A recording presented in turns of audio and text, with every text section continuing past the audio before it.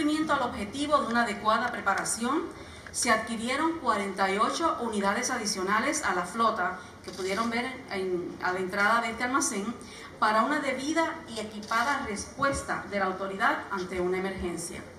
Además, en esta ocasión se cuenta con los cuatro helicópteros en condiciones adecuadas, listos y disponibles para responder a cualquier emergencia.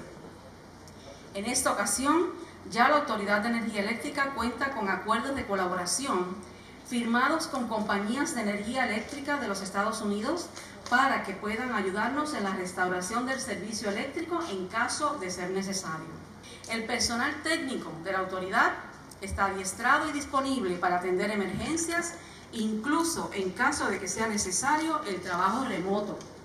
También hay equipo de comunicaciones satelital en todas las áreas para agilizar las comunicaciones con personal en el campo de ser necesario. Hay 160 operadores disponibles en los centros telefónicos de servicio al cliente, además de planes de contingencia regionales para mayor agilidad en la fase de recuperación y también personal debidamente equipado para un mejor desempeño.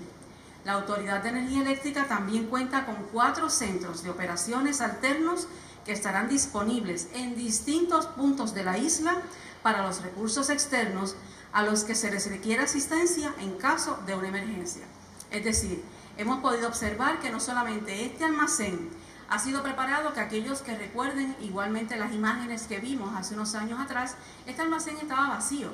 no tenía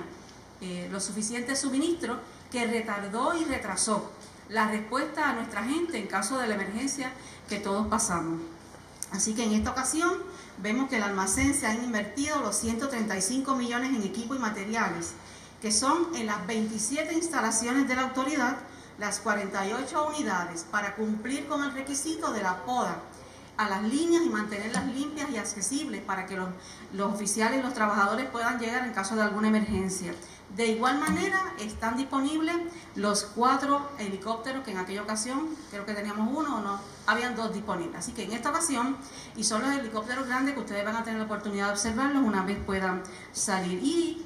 eh, finalmente, en términos de la autoridad, los acuerdos con aquellas eh, compañías de los Estados Unidos que de ser necesario tengamos la transportación y la disposición de todos esos equipos aquí en Puerto Rico para que no tengamos que sufrir las consecuencias del pasado.